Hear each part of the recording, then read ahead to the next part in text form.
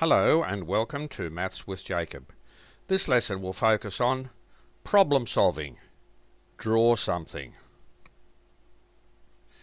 We often hear the expression, a picture paints a thousand words. Many problems can be solved by drawing some type of picture to help us visualize what is going on. Such a picture can be very helpful for visual learners. Example 1. Farmer Ted built a rectangular enclosure to protect his chickens. It was 20 metres long and 15 metres wide. As well as having four corner posts, he also had posts on all the sides which were 5 metres apart. How many posts did he have altogether? Now here are the chalks, but they need protecting. So let's start. Now remembering it's rectangular, so let's assume there is one post here in the corner. Now this let's make this the length. So the length will be that way and the width will be this way. So the next post is 5 metres away. So there's the next post. So, so far that's 5 metres, okay? That's 5. The next post is another 5 metres away. So that's another 5. The next post is another 5 metres away. So that's another 5. So what's the length so far? That's 15, but it's 20 metres long, so we have one more post. See there? So there's another 5. Okay, so we have one, two, three, four, five posts there. Now the width. Okay, so what's happened with the width? It is 15 metres wide. Okay, here we go. There's a post there. That's 5 metres. Another post. 5 metres. This is just approximate, but it gives you an idea what's happening. It's just a sketch. And there's another 5. So, if we do the same thing along here, there's a post there. Of course, it has to line up with this one. Another one there another one here, and there's the other corner post. Now for this side, a post to line up there, and a post to line up there. So, let's have a look. If we look carefully, we can see how many posts we've got. Here we go. One, two, three, four, five, six, seven, eight, nine, ten, eleven, twelve, 13, 14 posts. So how many posts did he have altogether? 14. So you can see the length is 20, 5, 10, 15, 20, and the width is 5, 10, 15, and each of the posts are 5 metres apart. So there's an interesting way of drawing something to help you solve the problem. Example 2. Mum and Dad had five children the eldest child is 30 years old. The difference in age between each child is 4 years. What is the total sum of their ages? Let's assume this child here is the eldest. So he's 30. Now the next one's 4 years younger, so she must be 26. 4 years younger must be 22. Four years younger must be 18. And four years younger must be 14. Now, there we are. So we've got 30, 26, 22, 18 and 14. So let's go slowly. 30 plus 26, so that part there gives us 56. So we'll write 56 down. Okay.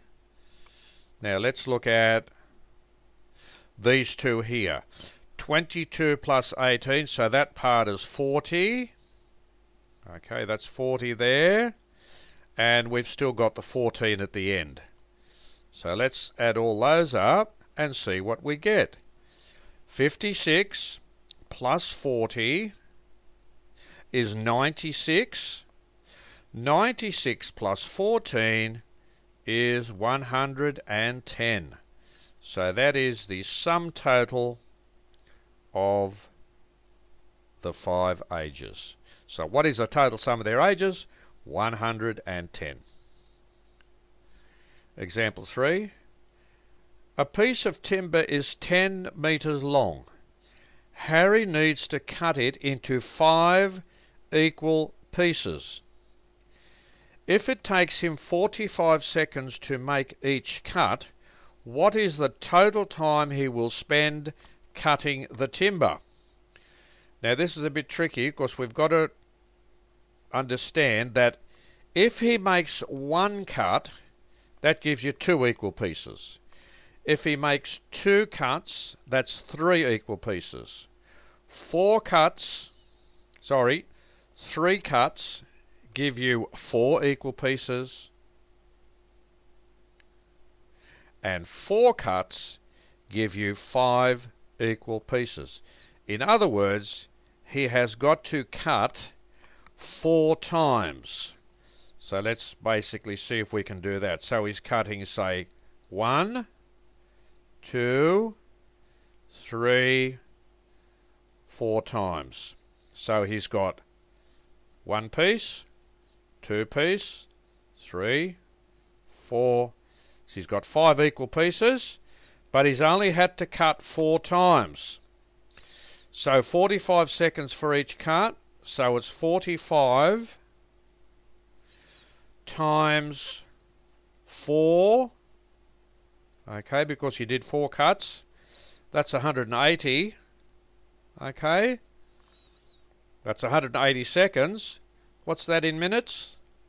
3 minutes. So how's that? So in the length of time, we have three minutes. The important thing to note, he has to make four cuts because that gives him five pieces. Example 4. Eight competitors enter a knockout tennis competition. How many games need to be played to find a winner? Here are the eight competitors that's let's say that's the first round. All right, these two play each other. For example, there's one game, two games, three games, four games. So in the first round, we have four games. Now, the winner from these two, all right, let's pretend here's the winner here. The winner from those two is here. See how I'm drawing something? The winner from those two is here. And the winner from those two is here. If those two play together, that's an extra game. Those two play together, that's an extra game. The winner from those two is here. And the winner from those two is here. And here's an extra game, which is the final. Let's see how many games were played. One, two, three, four, five, six, seven. So the answer, seven games. Example 5. For a building project, Tom needs to hammer five nails into a piece of wood. The nails are in a straight line and 2.5 centimetres apart. How far is it between the first and last nails? Well, let's assume that's the piece of wood here. Now it doesn't matter where he starts his nailing. Let's say he starts there. One nail there.